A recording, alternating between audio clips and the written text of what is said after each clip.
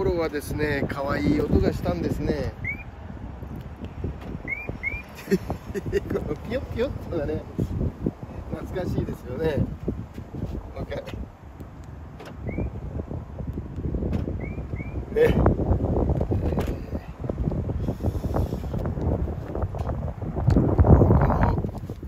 中央にね、えー盛り上がりがあって今でいうところの MFD の入るところにあのポップアップ式のあのメーカーオプションでポップアップ式のなんていうんですかあのナビなんかが出てくる時代でしてね。で、えーやっぱりこう時代に時代に合わせていろんなものが出てくる楽しいですよねでこの車の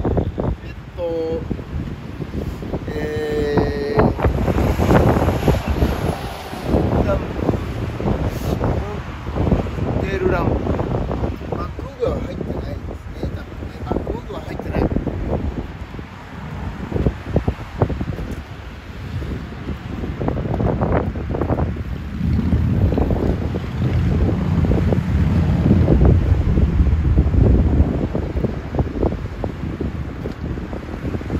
かない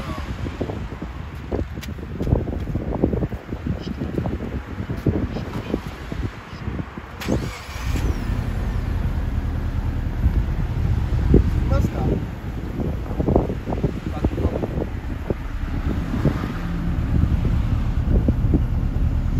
つきますねこれがバックフォーグですねねちょっとここ映してみてくださ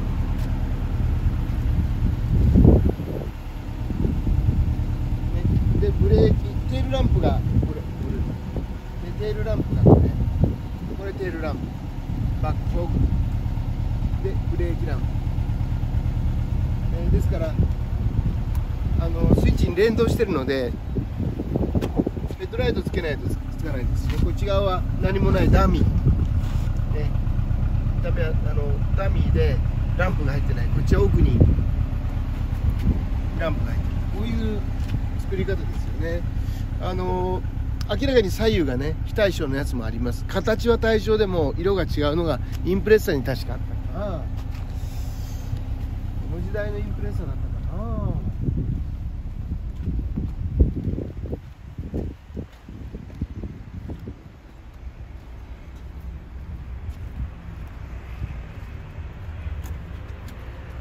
ありましたありました。ねありましたよこの時代のインプレッサー。これこれ左右非対称です。ねでそっちのねこれはフォグランプがないんですよ。だからここ白向こう後ろです。バックランプになってますね。ねですからこういうふうにですねえーええ10日期には統一性のない会社だっていうことです 後ろは特にね後ろは特にその無頓着っていうかね、えー面白いですけどね、えーこの頃は面白いですね。あのマイナーチェンジのたびにねあのリアのランプがこう変わってくるビッグマイナーでね。でだんだんやらなくなりましたね。ビッグマイナーであのリア触るとお金かかるんでなるべくなるべく触らないっていうことでやっぱり優先順位がフロントという、えーそういう傾向が見て取れますよね。ね、えー最近はね、えーで、えこういうねやっぱり面白さ、ね、車の、まあ、年代とですね傾向とそういったことがいろいろとねこの探れて楽しいですよね。こう車をいろいろ持ってますとね。ね。えそういう中でこのやっぱりこの大きくこのチェンジしたね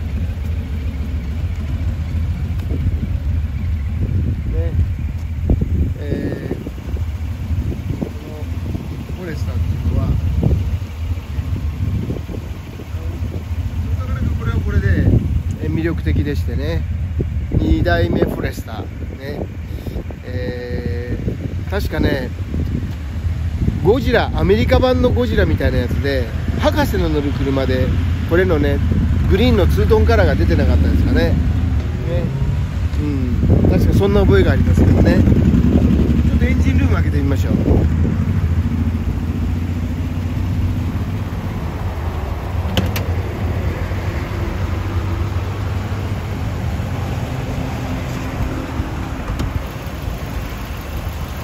っぱりカバーかぶってね。おしゃれになって。ますんできちんとこのダクトでインタークーラーにあの空気が導ちぶ満ちるようにね。なってまあこのエンジンルームのデザインねこういうカバーがつくように変わってきましたよね。で距離少ないんですけれどもやっぱりあの置いておくうちにですねあのプラグが劣化しましてね。でえー、まあプラグの調子が悪いとどれぐらい車っていうのは良くないのかっていうとあの本当に何て言うんですかあの人間で言えばですねお腹の調子が悪いようなねねお腹の調子が悪くてもう本気出せないわみたいなあもうこれ辛いわみたいな女性になりますよね。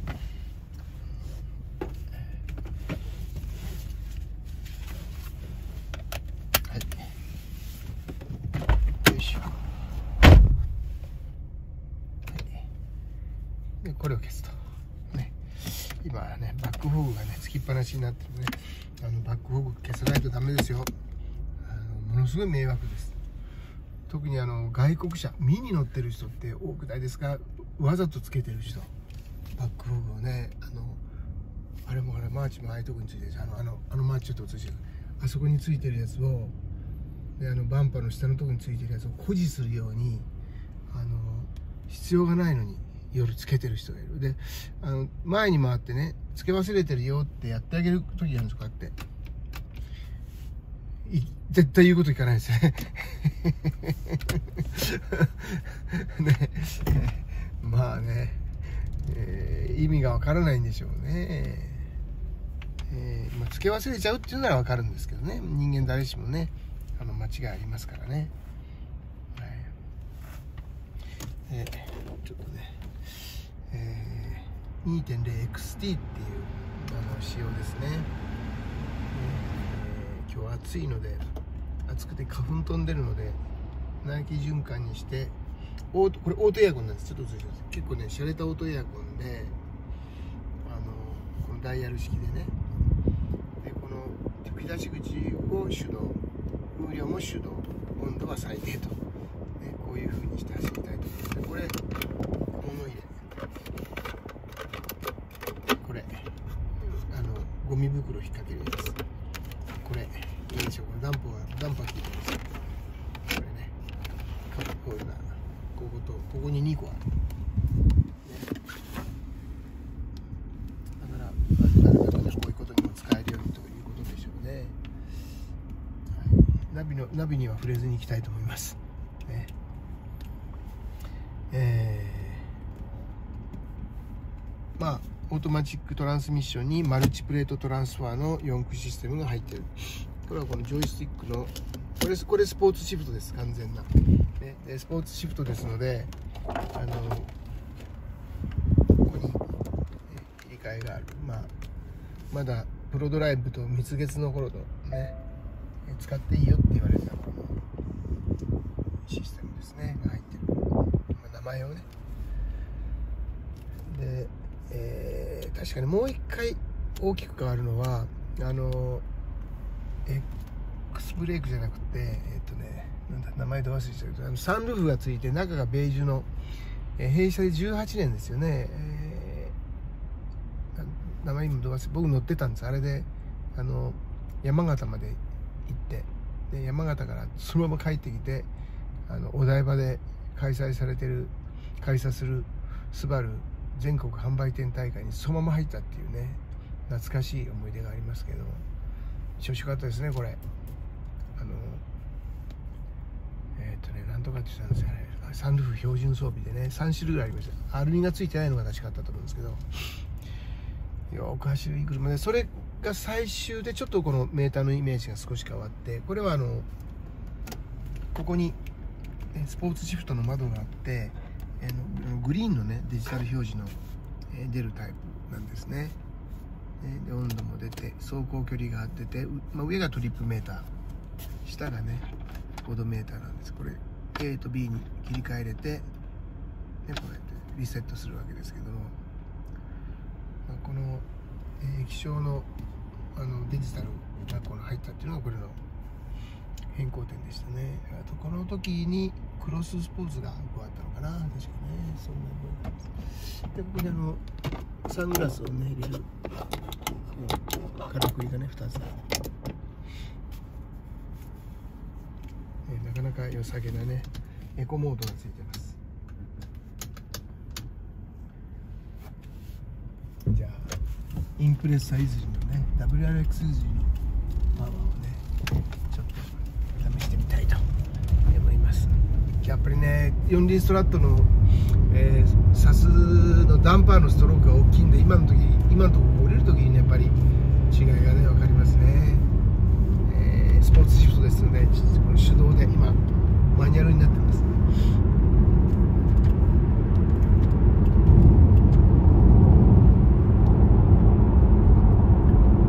子いいですね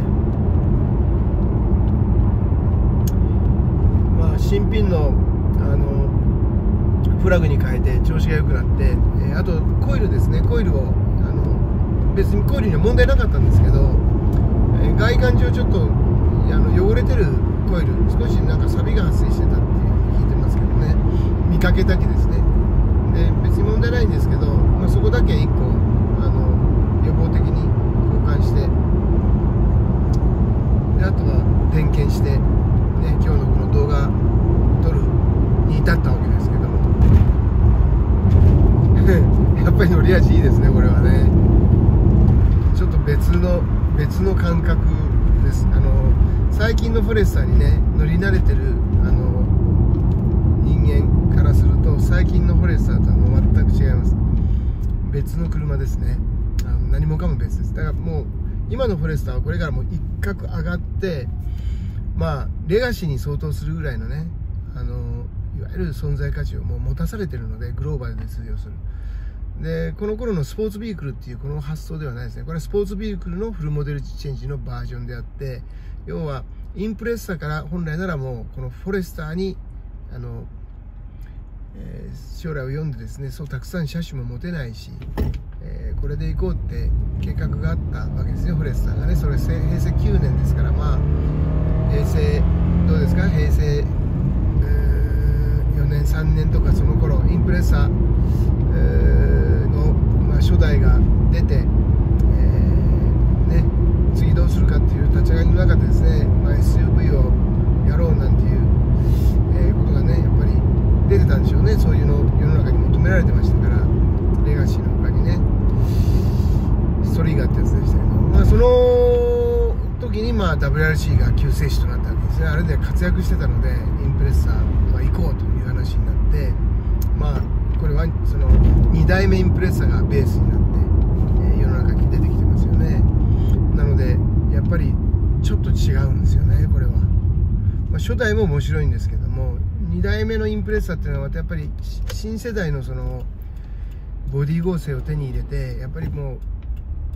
21世紀に生き残るためにはこういうふうにしなきゃいけないっていうのが盛り込まれてるわけじゃないですか。でその車がこのベースになっていてしかもまた現役のねあのラリーを WRC ですよそれを WRC でその頂点をですね競ってた頃の車ですからこれは。これもね確かブルーに塗ってサービスカーか何かで使ってて限定車でねこれのブルーがありましたよね。WR リミテッドっていうのかな。そういう車ですからあの今の SUV としての風格をこう兼ね備えた車とはですね全然違います。ものすごいやんちゃですねこれ。やんちゃなので面白いんでしょうねこれね。まあ4速 M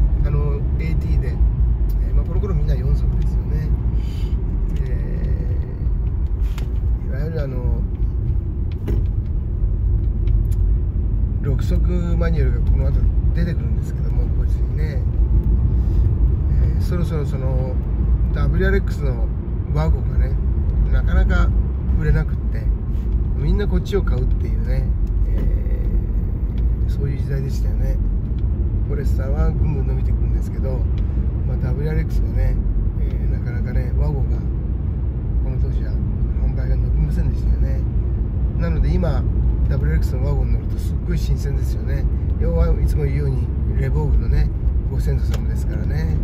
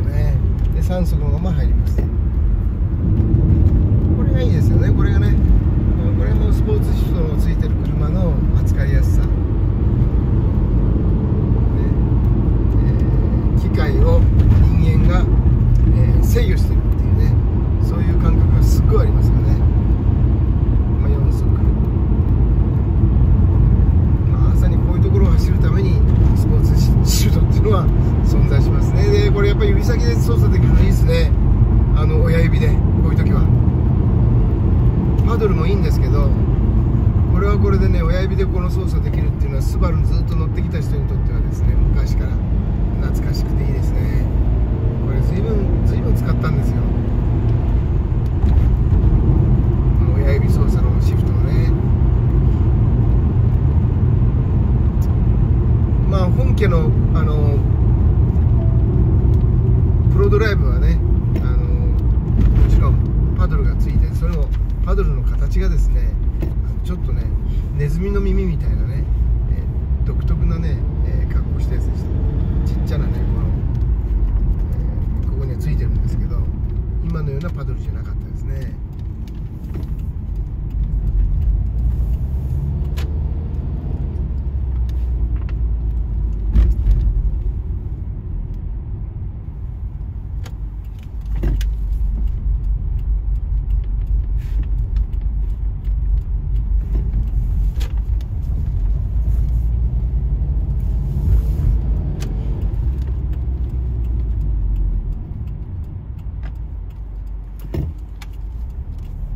で今みたいに止まるとですね勝手にね一速に落ちます。でアップはしませんので指先でこう変速していくわけです。はい4速軽くブレーキで道なりにターン。まっすぐにまっすぐにしてフル加速。バーンってならないからいいですよね。変速しないので。これがオートマチックだとグッと踏むと3速にバンと落ちるんでバーンってなるんですけど。こういう下り込んでる時は、ね、素直にこのターボ火器を待った方がいいので。で4速のまま軽くターンでブレーキを少しかけながらターン。でステリングは水平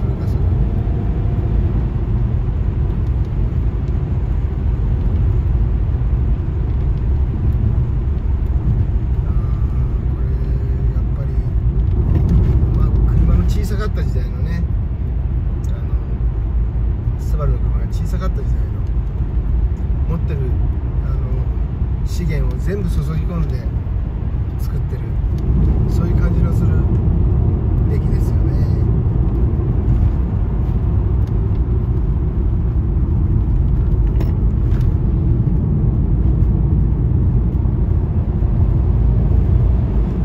だからすんごい肉厚感があります例えばあのサイズ的には、まあ、今の今生産でき中止で受注できない、まあ、あ受注ができるようになったのかな、えーレックスっていうねダイハツさんに作ってもらってる車あれも面白いですけどあのああいう類の車と違うんですねあれはまあ言ってみれば軽自動車の技術をぐーっと伸ばして国際車にしたっていうそういう作りですよねジャスティンもトールもあのそうですよねトールとかルンギーとかあの車もまあ内容的には軽なんだけども軽じゃなくて国際車ねその軽の技術を使った軽国際車っていうそういう雰囲気がするんですけどそれそれじゃないんですよ。これっていうのはもう要するに WRC で走れるような あ頑強な車をベースにしたあの SUV なのでものすごく肉厚なんですよね。もう感じ方がですねマッシブ。その肉厚って言っても太った肉厚じゃないんですね。マッシブです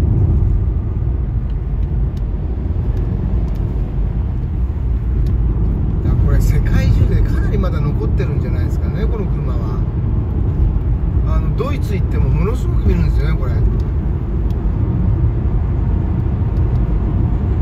ドイツってあんまりね日本車ほら見ないじゃないですか基本的にはねあの他の国よりは見ると思うんですけど同じあ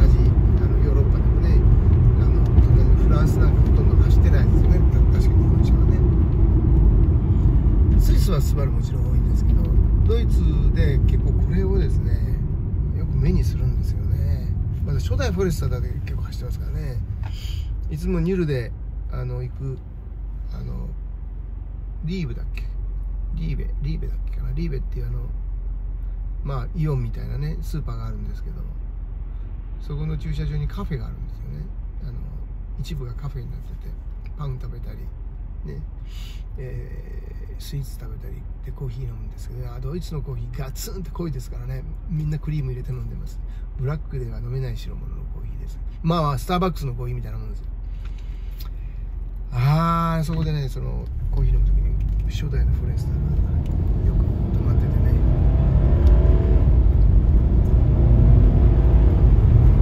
大事に使ってるなと思うんですけどこのタイプもよく見ますね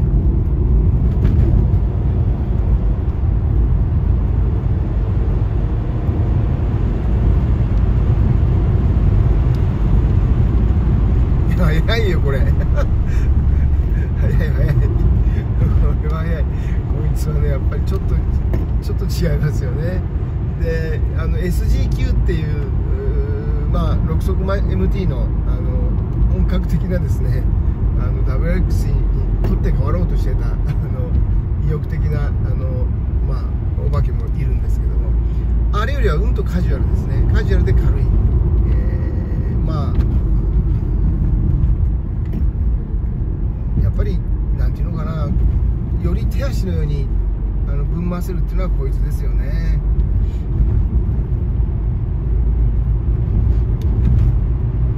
いい感じですでマルチプレートトランスファー式四輪駆動ですので、えー前後のトルクをですねギアではなくて摩擦力、ね、プレートの摩擦力で伝えてるそういう車です。ですからあの特に切り替えがあるわけじゃないんですけれどもトルク配分が常に、えー路面に合わせて変わっていくので、まあ、そこもですね非常に面白い車ですね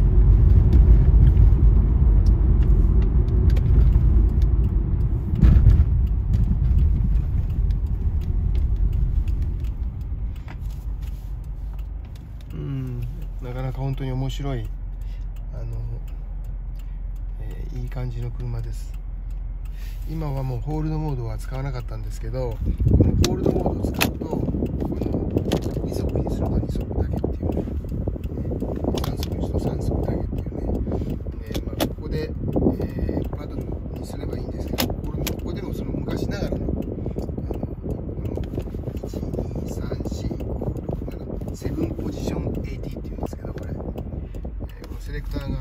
のになってるこれスバルのあの結構3でここのこの状態でホールドの状態で1に入れると直結4分になりますですからこれはこれで使い方ちゃんと知ってると便利です、ねえー、ですからですねちょっと試してみますけどあのー、こう駐車場なんかでですね例えば少しでもあの雪が残ってると滑っちゃうのであの後ろがゼロになるってことはないんですよ。あの MPT のあの例えばその他の車でもですね4速 AT にマルチプレートトランスファーのあの乗っかった車いっぱいあるんですけども例えばこういうところでゼロにしちゃうと動けなくなるので2割ぐらい大体2割ぐらいがこう触ってるわけですけども。で、えー、今度ここでこのホールドモードにして例えば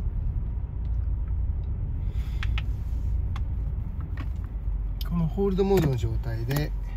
これ直結4機ですからどうなるかっていうとタイトコーナーが出ます。これ。でもねお利口なのはね逃がすんですこれ。あの路面の抵抗に合わせて少しプレッシャーを抜くんでこれがセレクティブであのギアのやつだとガッチャンと入っちゃうんでガッガッガッガッガッガッガッガって最初止まっちゃいますよねこれこれぐらいの速度であのこんなに路面がですねあのサーフェイスがドライだとググググって止まっちゃうんです。こいつはそこはならないけどこういうふうにねこれがマルチプレートトランスファーってやつの凄さです、ね、直結4区の制御をします。はい。えー、ねここで買い物をして帰るんでちょうど使わせてもらったんで決して人の王様の駐車場に来てね、えー、こういう動画を撮ってるわけじゃないので誤解のないように。今日はお弁当がないのでね、えー、ちょっとね、おにぎりでも買っていこうかなと思います。はい。ああさあ。よいしょ。まあねこのスバルの自動車には本当にいろんなからくりがあってね楽しめますよね。ワンコが鳴いてますね。抜け抜けられたまま。飼い主がどっか行ってんですね。ね、えー、リフトはここでは絶対に泣かないですね、荷台でいつも僕の帰りを待ってます。ということで今日の動画撮影これで終わろうと思います、えー、明日もよろしく。